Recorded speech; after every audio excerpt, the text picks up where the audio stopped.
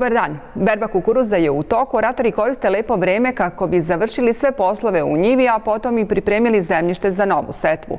I pored brojnih upozorenja, svedoci smo da se žetveni ostaci i dalje pale. Ovo ima štetne posljedice po zemljište i zato ćemo o tome razgovarati sa našim današnjim gostom.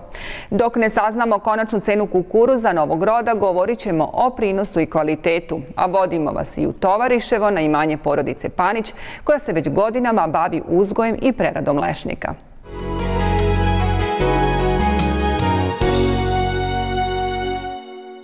Mladi poljoprivrednici mogu da se prijave na konkurs za dodelu sredstava namjenjenih programima koji se odnose na diversifikaciju dohodka i napređenje života u ruralnim područjima.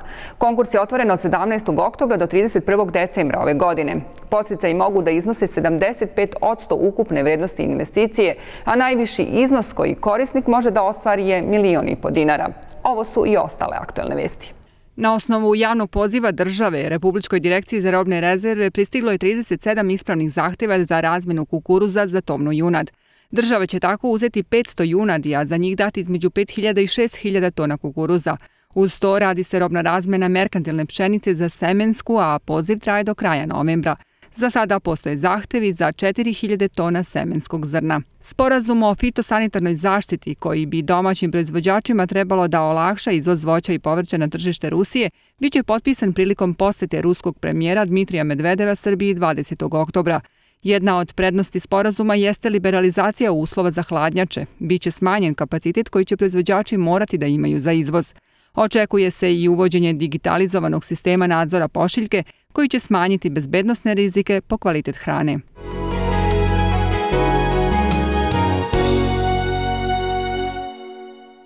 Proletos je pod kukuruzom zasejano preko 900.000 hektara. Od početka septembra traje berba, a ratari još sa njiva skidaju kukuruz. S obzirom na to da u vreme berbe otkupna cena bude najniža, tek kada se svi radovi završe, moći ćemo govoriti o konačnoj ceni kukuruza. Do tada pozabavit ćemo se prinosom i kvalitetom. U gostima nam je gospodin Goran Bekavec sa Instituta za ratarstvo i povrtarstvo u Novom Sadu. Dobrodošli. Bolje vas našao. Po nekim podacima prinosi variraju. U pojedinim krajevima je prinos prepolovljen, u drugima je iznad očekivanja. Kada se sve to sabere, da li im nam je prinos na nivou prošlogodišnjih? Dobro ste rekli, ova godina je obilovala stresom kada je kukuruz u pitanju i od početka vegetacije, ako se samo setimo, imali smo izuzetno ekstremna variranja i temperatura i količina padavina i to je praktično bilo tokom cijele vegetacije, da bi onda najveći stres usledio možda kad je najmanje trebao, a to je bilo, bio period punog nalivanja zrna. Sjetimo se dobro prva polovina avgusta gdje su temperature bile preko 35 stepeni i vrlo često ljudi pitaju pa kukuruz je toploljubio, biljna vrsta to mu sigurno prija, međutim sve temperature preko 35 stepeni deluju depresivno, naravno prekidaju normalne fiziološke procese, tako da je prinos ja verujem u najvećoj meri smanjen upravo zbog tog stresa koji je nastupio u toku avgusta, jer su prosto mnogi hibridi prestali sa normalnom fotosintetskom aktivnošću, sa nalivanjem zrna i otprilike koliko je tada bilo zrno naliveno, tako je i ostalo. Prinosi variraju od nekoliko stvari. E, ključna stvar jeste e, klimatske prilike, klimatske i zemljišne prilike. Međutim, ne možemo sve da svaljujemo na klimu ili na zemljišta, kažemo, je sad su nam zemljišta loša ili teška ili recimo imamo klimatske ekstreme. Mnogo toga zavisi i od tehnologije. I koliko god je nekada, čak i na svetskim konferencijama, govoreno kako tehnologija proizvodnje i uh, genotip, odnosno hibrid, dele otprilike 50-50% učešća u formiranju prinosa, sve češće se još jedna komponenta ubacuje u tu čarobnu formulu za računanje uspeha u proizvodnji kukuruza, a to je management na parceli. Znači, ukoliko pogrešimo bilo šta u toku vegetacije, ako hoćete i u pripremi zemljišta, a pogotovo u toku vegetacije, ukoliko bilo koju od agrotehničkih mera ne uradimo kako treba, to se u svakom slučaju reflektuje na prinos. Ja bih rekao da vrlo često zbog loših agrotehničkih operacija mi gubimo mnogo prinosi variraju, oni jesu uslovljeni lokalitetom, rejonom i tako dalje, ali kada sve saberemo, mislim da ćemo imati jednu godinu koja, je, koja će biti iznad višegodišnjeg proseka, što i nije pretarano teško, zato što je naš višegodišnji pre, e, prosek negde verovali ili ne između 4,5 i 5 tona, što je zaista nedopustivo, imajući u vidu i e, genotipove koje gajimo, a i plodnost zemljišta koju imamo, ali šta da radimo? Očigledno smo zatajili u tehnologiji proizvodnje i mislim da će se prinos kukuruza na teritoriji cele zemlje prosječan prinos negde kretati između 5,5 i 6 tona. Mi smo na početku setve i govorili o lošim vremenskim prilikama u tom periodu. Da li je, s obzirom na sve to što se dešavalo na početku setve i kasnije, nekako i rezultat od takav prinos je rezultat svega toga, pored svih ovih agrotehničkih i zaštitnih mera o kojima govorite? Svakako da jeste. Ja ću samo podsjetiti, evo, za vreme održavanja poljoprivrednog sajma, ljudi su i dalje sejali kukuruz, vreme je bilo hladno, imali smo vrlo često e, obilne kiše koje ne samo da su spuštale temperaturu vazduha, spuštale su i temperaturu zemljišta. A mi dobro znamo da kukuruz, da mu treba nekih 10 do 12 stepeni e, da se zagreje taj setveni sloj da bi biljke prosto počele da, da niču.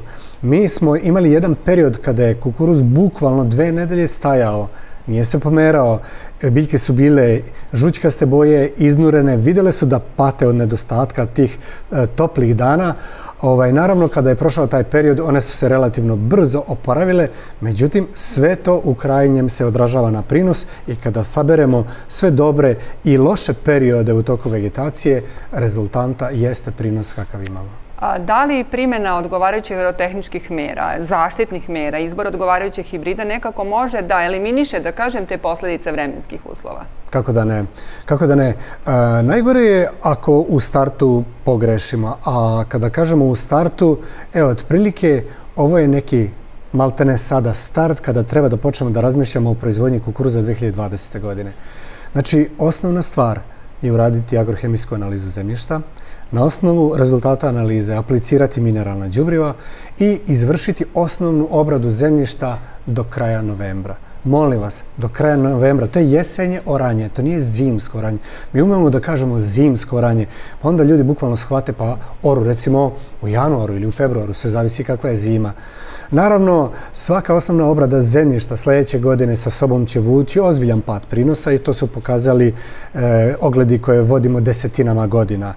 To definitivno ne treba raditi, ali čak i pre toga mi smo pogrešili ukoliko recimo na strnjište gdje smo imali pšenicu, ječam ili bilo koje drugo strno žito, planiramo kukuruz, pa smo recimo ostavili to strnjište, nismo ga porali do sada i ono malo vode što je bilo u zemljištu, ono je isparilo.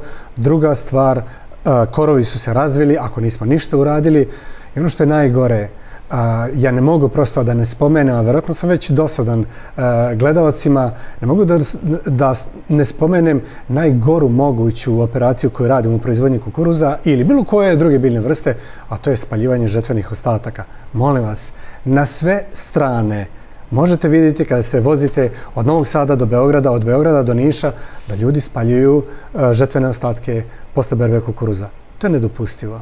To je najgora moguća stvar koju možemo da učinimo za svoje zemljište. I još jednom ću ponoviti, ako imamo na jednom hektaru prinos od 10 tona zrna, kada spalimo tu kukuruzovinu, mi smo spalili 50 do 60 kg čistog azota i napravili još čitav niz veoma loših stvari tom našem zemljištu. Ja ne mogu da verujem da to može ikome da se isplati, a pogotovo ne ljudima koji ozbiljno planiraju da se bave poljoprivredom. A što štete slom zemlje, što prošle godine smo imali i situacije da su se desile brojne nesreće na, na putu zbog, zbog svega Upravo toga. Tako. A, ako nam je prinos manji, kakav nam je kvalitet kukuruza? Ako je prinos manji, ne mora a priori da znači da je kvalitet lošiji. Kvalitet uglavnom zavisi od stresnih faktora koje vladaju u toku vegetacije. I ova godina je imala otprilike neku smenu E, toplih, suvih i vlažnih perioda, tako da nemamo neki izrazit napad ili ne napad, pojavu ili e, gljiva iz roda fuzarium ili aspergilusa, tako da možemo slobodno reći imat ćemo jednu prosečnu godinu kada je u pitanju opterećenost zrna e, fitopatogenim gljivama i njihovim mikotoksinima. Znači, ništa posebno, ništa zastrašujuće, jedna prosečna godina po tom pitanju. A, koji je vaš savjet e, ratarima? Da li je bolje e, da, kažem, e, skladište kukuruzu u klipu ili da se skladište zrno? Ja mislim da je sve više proizvođača koji kukuruz skladište u zrnu, prosto sve manje radne snage koja može eh, da se bavi tim manipulativnim poslovima, smeštajem klipa u čardake ili neke druge smeštajne objekte, tako da prosto mi sve češće govorimo o žetvi kukuruza, a ne o berbi. Ranije smo govorili o berbi kukuruza, ali tako sada se sve to prilično promenilo. Ovaj, I to u suštini zavisi samo od smeštajnih kapaciteta. Znači, ako imamo recimo jednu veliku farmu koja ima svoje silose, za e, tu farmu su interesantni samo hibridi koji imaju visok prinos i koji brzo gube vlagu i zrna nakon fiziološke zrelosti, da bi se nakon skidanja kombajnom ta vlaga kada izmerimo recimo našla tu negde oko 14-15% i praktično i nema potrebe da se dosušuje, eventualno da se elevira. Kod hibrida gde se bere klip i gde se ceo klip skladišti u zrno je sasvim druga priča. Oni moraju da imaju neke druge karakteristike, ali oni isto tako mogu vrlo uspešno da se sačuvaju u tim smeštajnim kapacitetima bez ikakvog rizika od pojave recimo fuzerioza na klipu kao što je to bilo nekada u prošlosti. Već ste rekli da kraj berbe u stvari znači početak priprema za novu setvu. Upravo tako. Treba krenuti sa pripremom zemljišta. Tako je. Kada, kada oberemo kukuruz ili kada uradimo žetvu kukuruza, molim vas, nemojmo spaljivati žetvene ostatke. Zaorimo ih, vratit ćemo ne samo azot, nego i sve ostale makro i mikroelemente nazad u zemljište, ali ćemo i zemljište obogatiti organskom materijom, koja je suština za fizičko-hemijska, vodna i vazdušna svojstva zemljišta. Ako to ne budemo radili, naša zemljišta će iz godine u godinu bivati sve težeg mehaničkog sastava, bivaće sve teže za obradu, mi ćemo trošiti sve više energije, treba će nam sve jači traktori, sve ozbiljni plugovi, habat ćemo tam, te mašine. To možemo vrlo lako da predupredimo upravo zaoravanjem žetvenih ostataka. Nikakva mudrost, je tako? Ali e, te pripremne radnje za sljedeću biljnu vrstu treba uraditi, recimo, kao što smo rekli, do kraja novembra. Znači, zaorati žetvene ostatke, zaorati sve to na neki 25-30 cm. Naravno, prethodno smo dodali mineralna džubriva i to je sve što u toku ove godine treba da uradimo. Nažalost, i to ne radimo. Barem ne radimo svi. Hvala vam mnogo na gostovanju. Nadam se da ste pomogli, da smo pomogli našim ratarima. Hvala, Hvala vam na pozivu.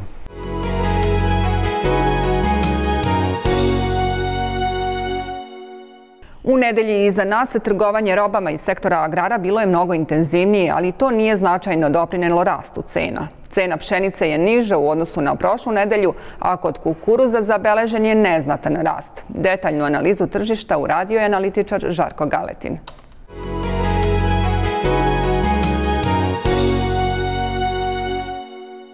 Tržište funkcioniše kao da je već sve unapred zapisano kada su objavljene procene svetskih bilansa sa početka jeseni. Naime, pšenica i dalje tavori, kukuruz zauzima standardnu poziciju na oko 20% ispod cene pšenice sa tendencijom daljeg približavanja, dok će soja po svoj prilici imati slične cenovne tendencije i trendove kao i protekle ekonomske godine. Generalna ocena tržišta protekle nedelje jeste primetno intenziviranje trgovanja. Međutim, glavni generator ove pojave nije bio na strani tražnje, već ponude, što samo po sebi indicira da to neće podstaći rast cena. Tržište pšenice posle kratkotrajne najave neke bolje perspektive ponovo je u veoma lošoj poziciji. Cena od 17 dinara i 40 para po kilogramu je niža u odnosu na pre nedelju dana za oko 1,20%. Tržište kukuruza je najfrekventnije. Kukuruz novog roda potpuno je potisnuo prošlogodišnji rod. Cena ove robe je 14 dinara i 20 para po kilogramu, što je rast za neznatnih 0,7%. Soja i dalje stagnira. Poštovani poljoprivrednici, ovo nedeljnu analizu tržišta agrarnih proizvoda posvetio bih jednom od najznačajnijih tržišnih faktora na strani ponude, a to su setvene površine. Nijedan tržišni faktor, pa ni ovaj, ne možemo uzeti kao nepromenljivu konstantu. Naime, struktura setvenih površina u svetu je vrlo dinamična kategorija. Pođemo od nama bliskih primjera, Po uvođenju ekonomskih sankcija Evropske unije prema Rusiji, Srbije se otvorilo tržište Rusije, a pre svega tržište jabuka. Trajao je znatno povećan intenzitet izvoza jabuke u Rusiju sve do momenta kada je Rusija Promenom strukture zasada znatno povećala površine pod jabukom, pa sada i Srbija polako gubi ovo tržište. Slično se dešava i na svetskom nivou. Naime, aktuelni trgovinski rat Kine i Sjedinih država najviše se osetio na tržištu soje. Kina menja svoju setvenu strukturu i sada soja sve više participira u setvenim površinama ove zemlje. Sve napred navedeno se svakako osjeći na tržištu, pa nije na odmet posmatrati i ove pojave u svrhu bolje percepcije sveukupnog tržišta.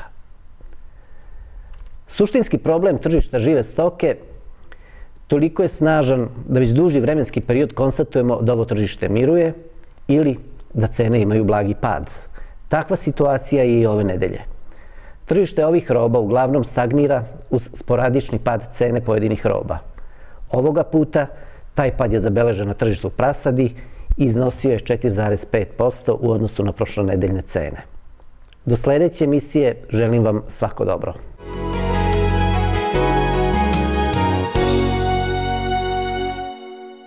Poslednjih godina kod nas je povećeno interesovanje za proizvodnju lešnika. Godišnja proizvodnja ne podmiruje ni 10% potreba, posebno u konditorskoj industriji gde se i najviše koristi. To znači da lešnik nije teško prodati, a troškovi podizanja zasada su manji nego kod ostalih voćnih vrsta. Poradica Panić iz Tovariševa uzgaja šest sorti lešnika. Kažu proizvodnja zahteva rad i strpljenje, a želja im je i da prošire proizvodnju. Na domaćem tržištu se za lešnik lako nađu kupci jer se trenutno čak 90% potreba za lešnikom namiruje iz uvoza. Leska je veoma zahvalna voćna vrsta koja je oko 60 godina u punom rodu, a jedno stablo može dati između 8 i 12 kg lešnika. Iz ovoga bi se dalo zaključiti da proizvodnja lešnika može biti dobra i unosna odluka. Pre 11 godina članovi porodice Panić iz Tovariševa kod Bačke Palanke zasadili su prve zasade leske. Pre dve godine proširili su proizvodnju na još jedan voćnjak, pa ukupno broje oko 1300 stabala. U početku nam je bilo teško, sva moguća novina, tražili smo pomoć od privrednog fakulteta i to sve. E, znanje je bilo jako šturo što se tiče lešnika, nismo mogli da dobijemo konkretne informacije. Recimo sad ovaj lešnik, zasad ovog lešnika i zasad onog lešnika je nešto drugo, zato što znamo koliko treba međureda bude jedan od drugoga i koliko treba da bude stablo od stabla. Lešnik je već pokupljen i prinos je manji nego prošle godine. Da bi proizvodnja bila zadovoljavajuća, neophodno je odabrati odgovarajuće sorte. U porodici Panić uzgajaju i svinje, pa je od velikog značaja i stajsko džubrivo kojim, pored veštačkog, hrane zemljište.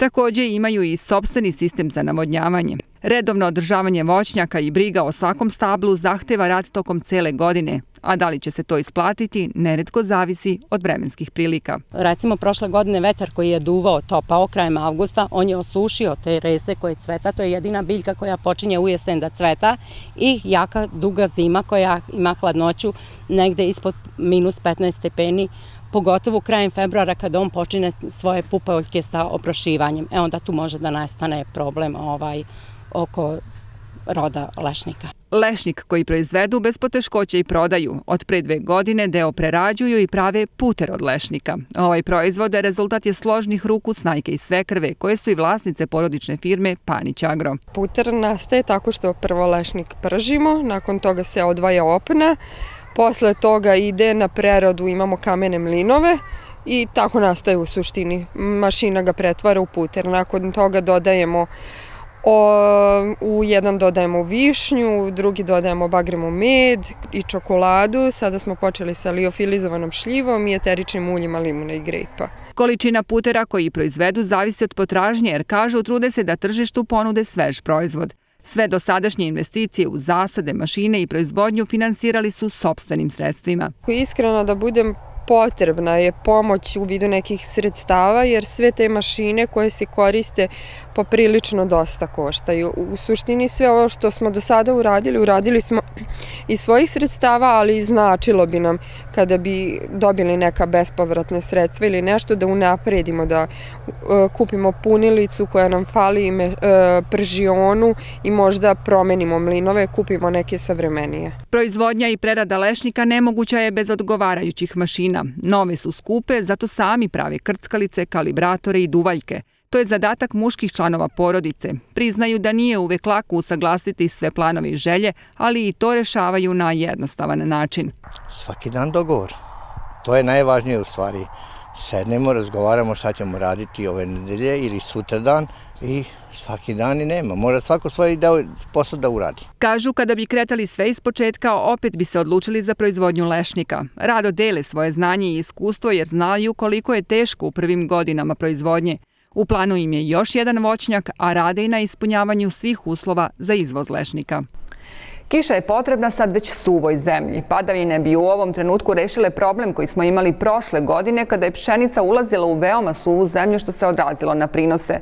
Međutim, po najavama meteorologa do kraja oktobra zadržat će se sunčano vreme i temperature do 27 stepeni Celsijusa.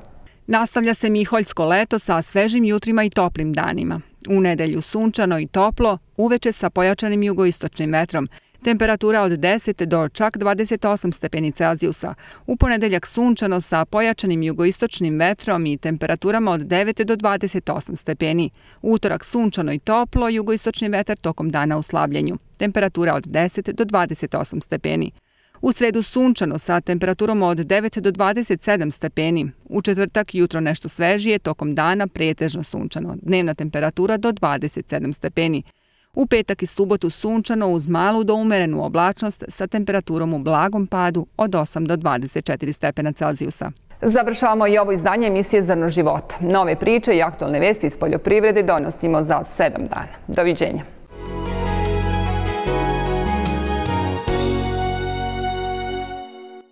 Novo Perinse Digital Studio. Najkvalitetnija digitalna štampa fotografija, brošura, kataloga, knjiga. Nove tehnologije za novo doba. Perinse Digital Studio, Milana Rakića, 15, Novi Sad. 060 50 70 782.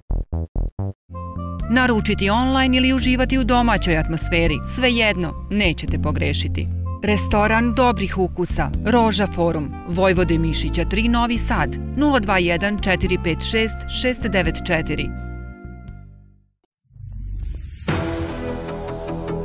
50% populacije nije povezano na internet. Verujemo da je u 21. veku biti povezan na internet pravo svakog čoveka.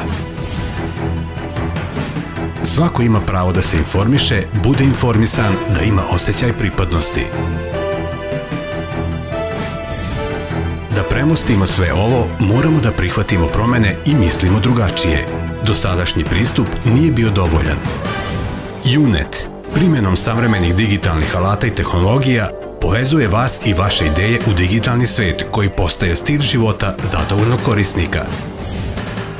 Razmišljaj, osmisli, kreiraj, uživaj. Povežite se.